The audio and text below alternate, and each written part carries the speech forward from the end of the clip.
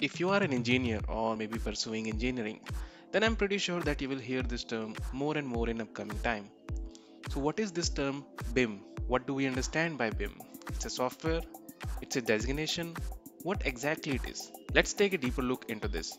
BIM is nothing but building information modeling and when we say building information modeling that means a single platform where all the services in a building can be modeled and managed. It is a highly collaborative process that allow multiple stakeholders and AEC which is architecture, engineering and construction professionals to collaborate on the planning, design and construction of a building within one 3D model. So in simple terms, BIM is nothing but an abbreviation that is used to make better understanding about 3D modeling world.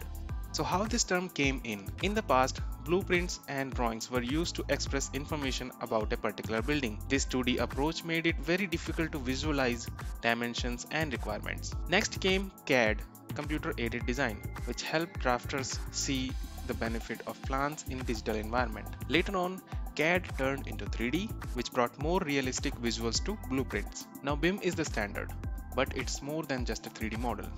This was started when 3D software like Revit introduced the capability of modeling different services in a single model for a building. With this advancement in the software, we can now be able to model structure elements like wall, column, beams, along with other services like pipe, electrical fittings, special equipments, and many more things. We are now able to exactly place all the elements of building in a single model. We can see electrical fittings, we can model them and we can do clash detection amongst them. So this kind of capability in a software brought this term up which is called building information modeling. The interesting part is that now other softwares like Tekla Structure is also very efficient in handling different services in a single model.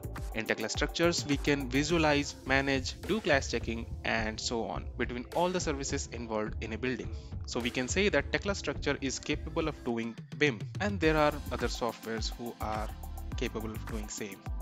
Now it's very simple to understand about different posts and designations also. When we see somewhere which says BIM Modeler Tekla or BIM Modeler Revit, that means that person has ability to understand and work in a model which have all the different services for a building. If you are a structural engineer and you have understanding of other services in a building and know how these services will affect in your structure. For example, you know that a particular pipe will come here so I need to make some kind of opening in wall and you do it according to the visual pipe in the model. So this kind of understanding automatically makes you a BIM modeler or BIM engineer. Here I referred a structural engineer but this is common to all other engineers also.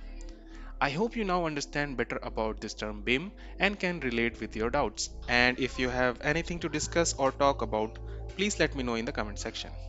See you next time. Till then, take care. Bye bye.